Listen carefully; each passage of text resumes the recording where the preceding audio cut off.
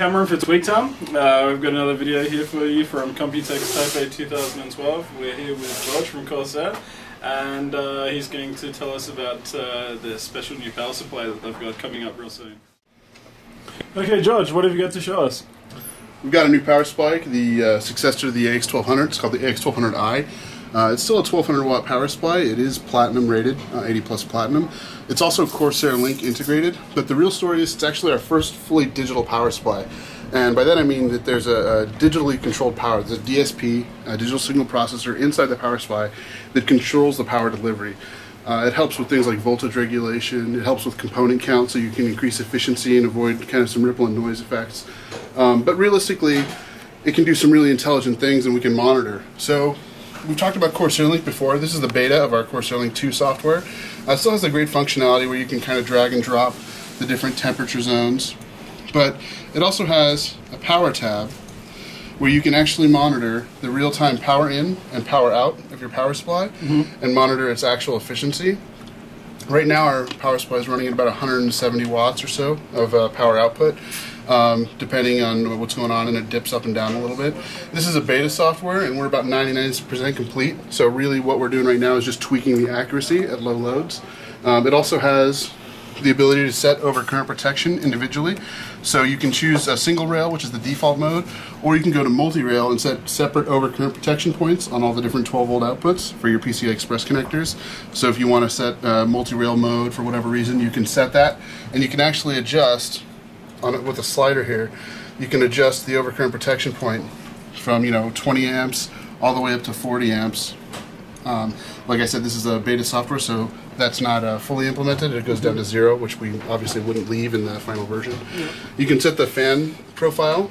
Uh, default mode for fan profile is uh, quiet mode, but you can set it to, if you want to use it as a case exhaust, you can set it to turbo mode, um, performance mode, fixed RPM, any number of different settings. Well, George, one one question for you. Sure. Does this does the fan on this power supply always spin? Or no, it's like uh, one of the most popular uh, things we've noticed with our AX 650, 750, and 850 was the uh, the kind of fanless mode operation at lower loads.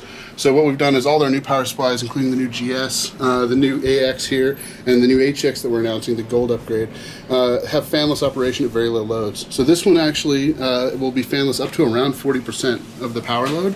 So up to 400 to 500 watts, it can operate without a fan, depending on the temperature of the ambient air it's getting in.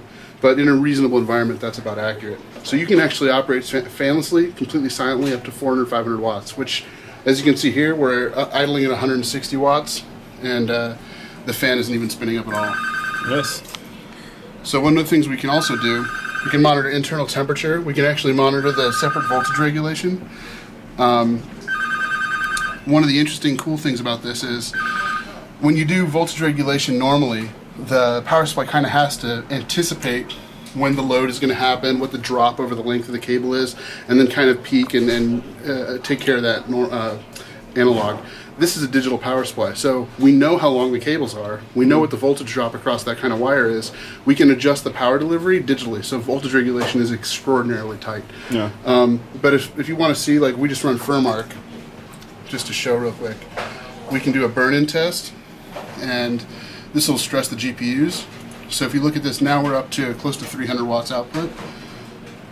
And uh, the efficiency obviously is not really going to be 100% or 80%. It's actually a platinum certified product.